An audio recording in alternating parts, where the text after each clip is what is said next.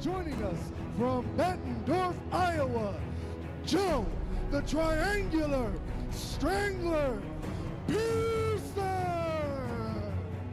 Um, Joe Pearson, uh, known as the Triangular Strangler, hailing out of Bettendorf, Iowa. Representing No Limit and fighting out of Dubuque, Iowa, Adam Schumacher. Adam Schumacher from Dubuque, Iowa. I train with Team No Limit.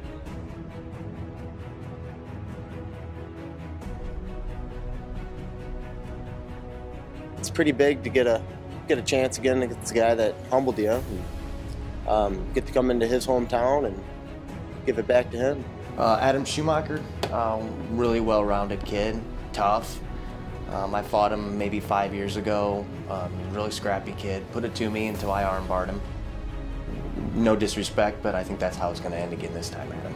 Well, I hope he knows he's not going to get the inexperienced guy. I'm going to come out there. I know what I'm doing now. I'm going to get on the ground with him. He's not going to put me away.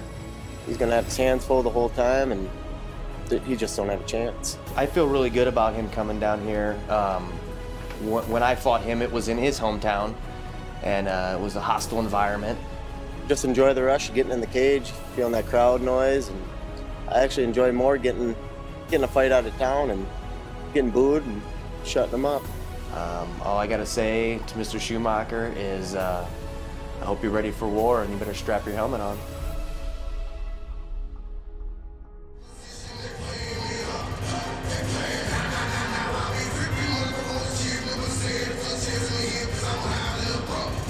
Are ready for our fourth fight of the night here at Cage Aggression 15 Dedication Night 2 and making his way to the cage, Adam Schumacher out of Dubuque, Iowa, and Team No Limits. really cool having a conversation with Schumacher and him saying that all his inspiration comes from his fans and that after he had suffered a pretty, you know, pretty bad injury a little while ago that he was pretty much done. He felt like he was done, but if it wasn't for his fans helping to push him, he would be sitting this one out. But obviously, they, they willed him here, and he was able to get that fire and that desire back again. So we're going to see him back in the octagon tonight. I, I wonder if those fans will be able to carry him through. I think those fans are the are the first thing you see, and they're also the last thing, uh, you know, the last piece of the puzzle as you are going through, and it's a hard fight. You want to quit, but you still hear them cheering for you.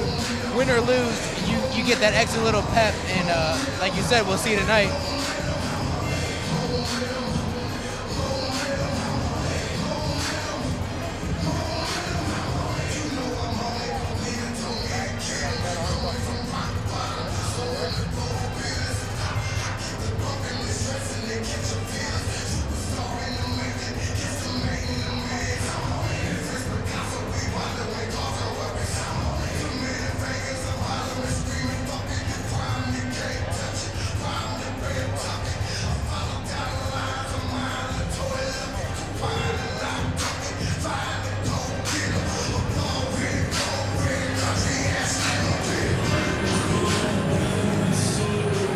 Way to the cage, Joe, the Triangular Strangler Pearson, out of Bettendorf, Iowa, representing Strangler's Playground.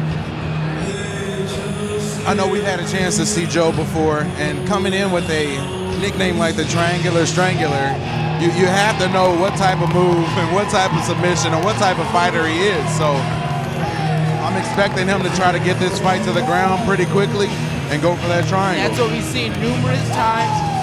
Uh, you know, a lot of people say they know it's coming and they've trained for it, but then all of a sudden, you know, Rousey like armbar, here it comes, and there's nothing you can do about it. And you know, Joe's got the equivalent to that with his triangles. And uh, you know, it's, he's always fun to watch. He's a veteran in the sport, and uh, it's awesome to see him on a cage aggression card.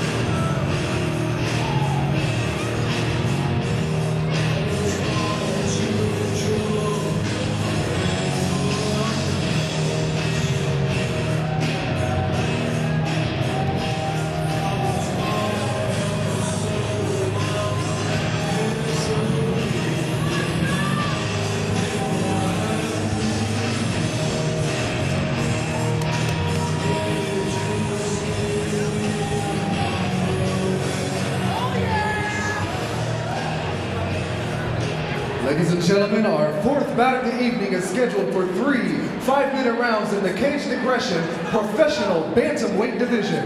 Introducing first, fighting out of the red corner. He stands 5 feet 7 inches tall and weighed in at 135 pounds. He trains with Team No Limit. Joining us from Dubuque, Iowa, Adam Schumacher.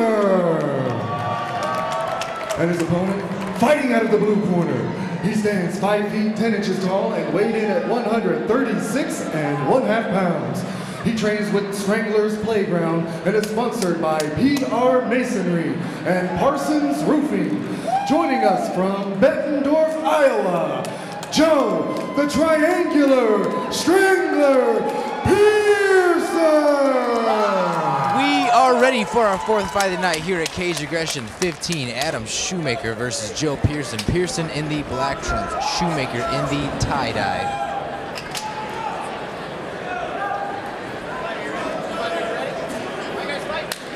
Let me get this in quickly. Winner of the night for best shorts. Oh, by far. Adam by Schumacher. Far, by far. It's the tie-dye joints, man.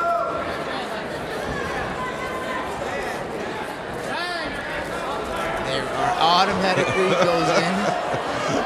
there, like I said, you, you can say all day long you train for it, and he automatically goes in for the guillotine. And now, now, what do you do? What do you do at this point You if you're relax. a Schumacher? You relax and understand that it's very early in the fight.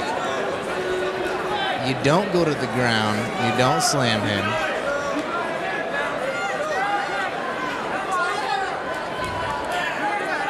Honestly, man, if you know, if, if I were Schumacher, I would just stand here for a while. It's- Yep. He got the Joe's got the body triangle on, um, but it, he's sinking it in a little tighter now. Pulls guard. I was gonna say that the Schumacher one able thing, to pop his head up. the one thing you probably don't want to do is end up taking this down to the ground. No, that's kind of where he's at. you know, he, he kind of baits you in with the with the guillotine, and then looks for the triangle from about eight thousand different angles. Interesting that Schumacher comes Big back up and slams it back down. That's one way to get shake somebody off, I think. Yeah, it either it either pops them off you or makes it sunk, sink it in deeper. He's already lasted longer than many people I've seen against Joe Pearson.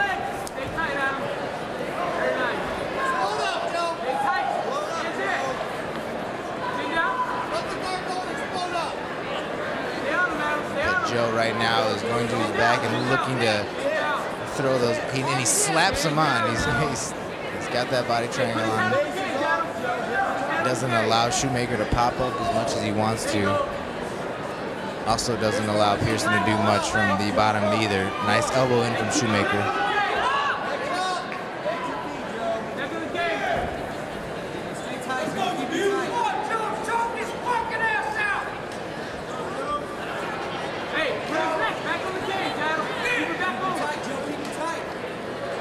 What Schumacher, I'm, I'm guessing, is really trying to do right now is figure out a way to, to break this body triangle and you know get things standing up a little bit.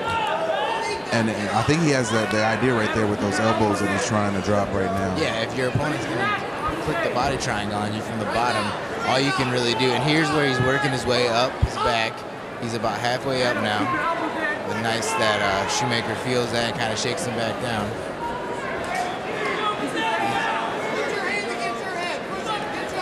Kind of traps his arm. There's no, he's not in any danger of an arm triangle from that position. But still good to take his arm out of the equation.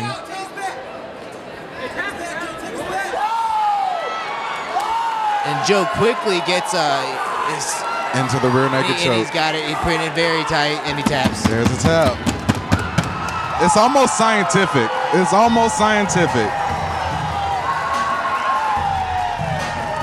And I mean, think- you, you're looking at someone who is a master at submissions, a master. and, and he's and it was so slow and, and like a boa constrictor too. I mean, he got he took his back and then slowly sunk it in, and you just saw him tighten up, and it was over. I don't even know if it was under his chin. It could have been on his chin. It's great though. Great finish from Joe Pearson.